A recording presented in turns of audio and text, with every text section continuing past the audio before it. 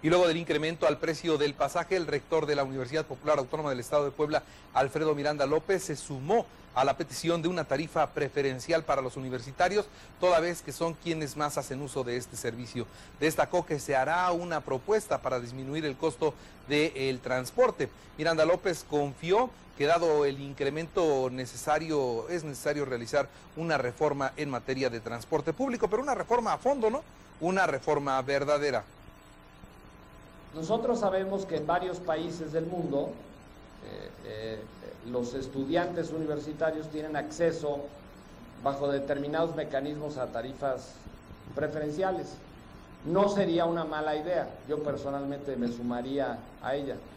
Eh, y en el momento en que tengamos la primera reunión haremos una propuesta si es que hay esta apertura de parte del sistema de transporte público.